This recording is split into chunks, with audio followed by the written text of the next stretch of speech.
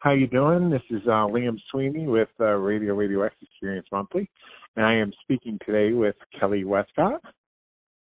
Hi, Kelly. Hi. How are you doing? Pretty good, pretty good. Um, Kelly works at Dark Tower Tattoo, does body piercing. Yes, I do. Where I first heard of you, um, and you also do sculpture and other kind of art. Yes, I do. I am a art student at U Albany, uh, art major, theater minor. I am in my senior year, and um, that's where the sculpture was developed. Was in the Bohr Sculpture Studio last semester when I had two sculpture classes in one semester, and I just kind of mashed everything into one piece, and it came out um, un- unbelievably uh, compelling. I think.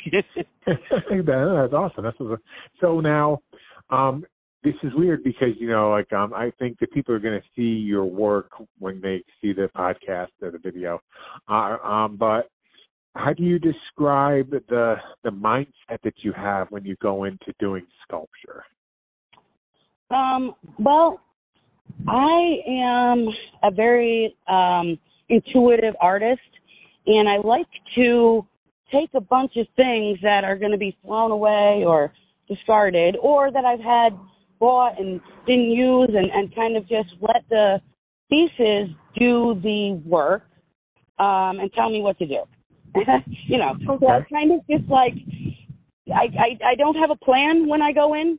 I just have things that I want to do something with, and of course they had to meet the criteria of this the um you know we in, in class we had certain criteria we had to meet, um, but I did have the advantage of having um, the Bohr Sculpture Studio where we could have access to any kind of building material and metal. I did welding. Um, I painted. There was a, there was a uh, a spray booth, and it was just so many things that I've never had access to, and it just exploded. Okay, so now, like, do you have you also do you also do um what I'll let's call it flat art, you know, like two D art, um, painting stuff. Painting. Like I do have many paintings. It's a lot of them are very abstract. I did uh some um charcoal drawing, which um came out really amazing, surprisingly to me.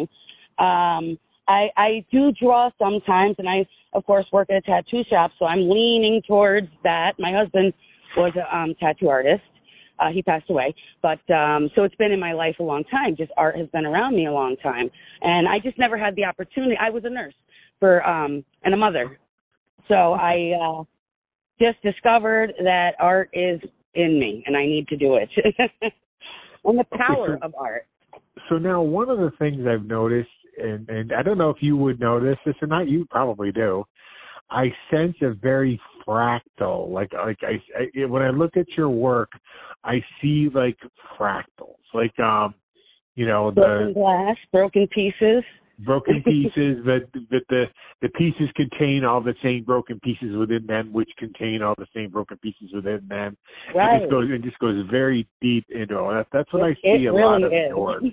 It really is very intricate, and like you could literally stand and look at it and look at it for hours it, it, because there's so many different pieces involved and they all tell a story. Like the whole thing gives you the information and you kind of you do you have to like piece it together like what is going on here you know? And you see brokenness. And in troy i i, I did a mural project for uh the, I, I volunteered down under the hoosick street bridge. Okay, yep, yep.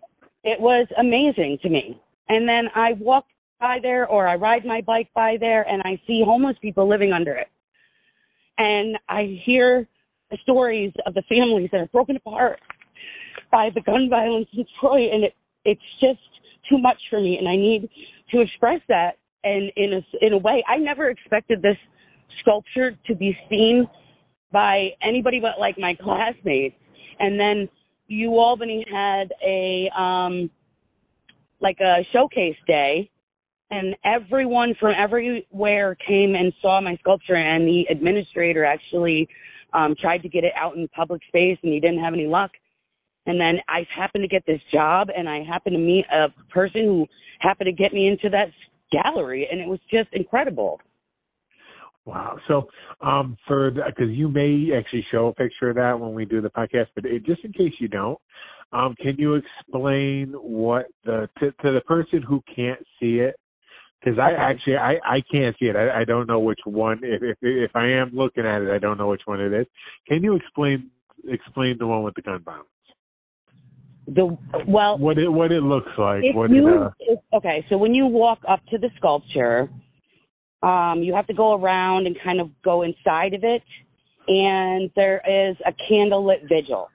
There's a dozen or so, 20 candles, and there's sneakers hanging over the, um, you know, there's a little fence type thing that someone would use to build themselves a little, you know, hideout somewhere for for a good night's sleep when they're homeless. And there's pictures of all of the kids in Troy who have been shot in in in, in Albany and all the people who have been involved in the gun violence because it affects me and people that I know very deeply. And I've seen, I went and took pictures of all of the vigils in Troy, every one I could find, lit, not lit, wax left behind, and they're all hanging around that sculpture in one way or another. Wow. That and that's I mean and that says to the human. I mean, because I can think of like all these different words. What I was thinking, you know, when I think when I heard oh the, the gun violence culture, I'm thinking oh, it's going to be a, a lot of guns arranged no, a certain way. It's about no, the it's the after. human. It's the very human element right. of it all. Right. Wow. The breakingness, how it breaks families, it breaks communities. It broke this whole uh, place apart. I've lived here my entire life and I have people shooting people down the street from me on a regular basis, and it's it's it's it's never been like that like it is now, and it doesn't make any sense. We're not that big of a city where we should have that you know intrusive of gun violence.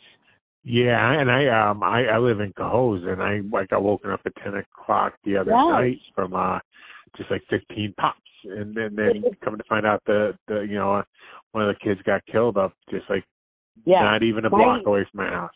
My 18 year old son is terrified to leave the house. Wow. He doesn't want to go outside. He knows these kids. That one of his friends was shot in their bed in the middle of the Wow. night over a gun. Somebody stole it's you know, I don't you know, whatever, I don't know. But it's all surrounding the gun violence. And and people end up losing their minds because they can't fathom losing their children. And everything Yeah. falls apart after that. Exactly, exactly. There's not enough help for the people after there.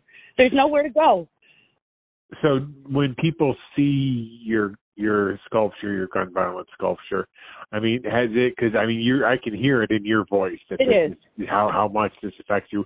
Has it affected anybody else that looked at it and just went to you and was like, I can't believe this? I yes, I have a the administrator from U Albany who does community, you know, um connection stuff. He said it. He was moved by my sculpture.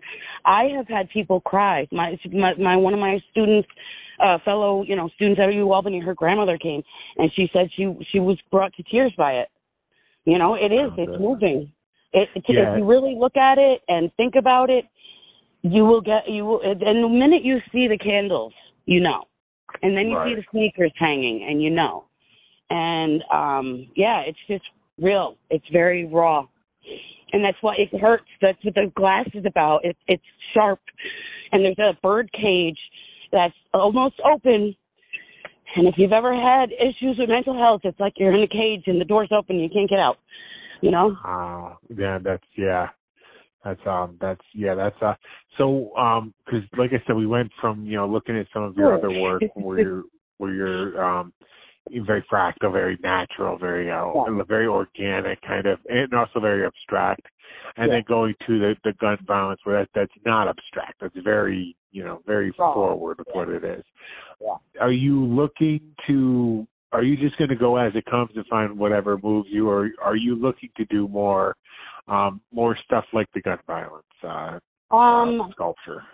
you know, it honest. I, I, to tell the truth, I did that for um, a very close close friend, family of mine, who was very upset about this, and she felt like she couldn't do anything, and I felt like I had an opportunity to do something. This is what I can do. I don't have connections to, you know, political people who can do Right. something. I'm just a still little. I'm, you know, uh, in the in the lower poverty level. I have nothing, but I had the opportunity to express what's going on in my art sculpture because I learned when I went to Columbia University, I can put my artwork on a stage and people will see it, and that's where you have a voice. That's the power. Yeah, that's that's the real power. It is. Um, so, but just to not, not to, cause I mean, what we're talking about is very deep and very, you know, very. It is. technical. It is. Um, but I want to just uh, come back and just ask like uh, one question, a little bit more on method. Um, so when you go to when you're like when you're just let's say you're not doing something like that because that's obviously that that you I'm sure you had a really strong vision for that right away. Yeah. Um, when you just go walking around, um, where do you find like let's say the materials even for for some of the stuff? Do you do you have go to places where you like to go and look for stuff to make sculptures out of? Um, well, hmm.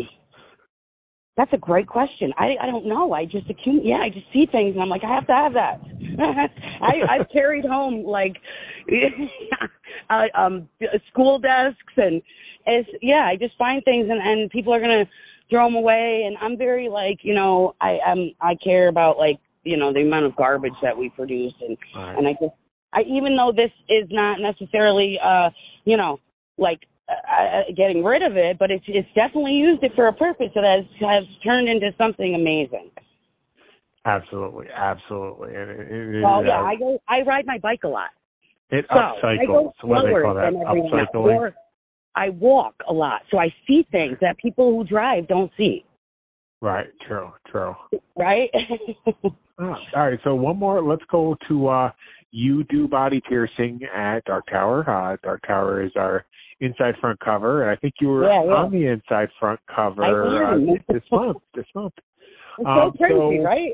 oh yeah. So uh, so how was uh, so how is it to um? I mean that's a dumb question. How is it to to do body uh, modification and body piercing? Oh, it's great. it really is. You know, there's not. I was a nurse for a very long time, and um, being, you know, being that kind of person, and then changing into this world, which I've watched. I've been involved. I've seen my husband, you know, run a shop and all this, so I'm kind of familiar. But um, I wasn't as involved. I was kind of like just, you know, touch and go, and then I did my own thing. Like I, I'm working on my bachelor's degree, you know. So um being in a shop and being the one that's like like Gary's so good to me. He's taken such good care of me since I've been here. He's a really good boss and and I'm happy to come to work. He's trying to kick me out. He's like, You gotta go home. I'm like, No I don't cool, cool. Yeah. Okay, so I'm going to ask one last question, and I tend to ask this of everybody. Um, this is where you answer the question that I did not ask. So this is uh, remarks, comments, uh, educate, enlighten, emote.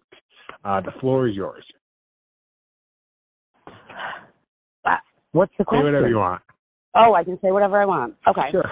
You know, within within within reason.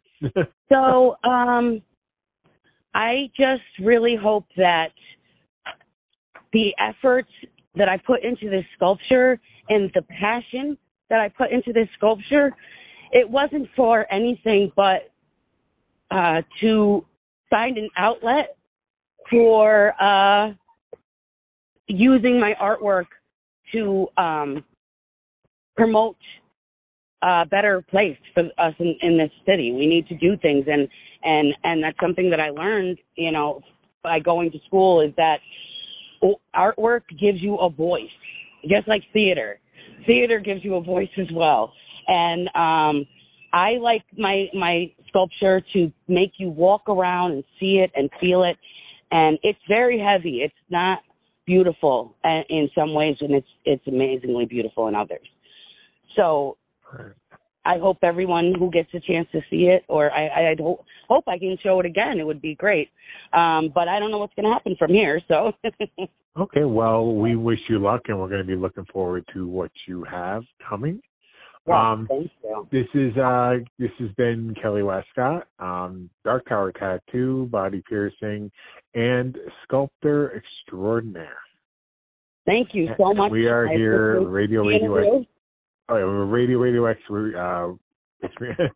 I have to think about that. No, Radio Radio X Experience Monthly. That's, yes.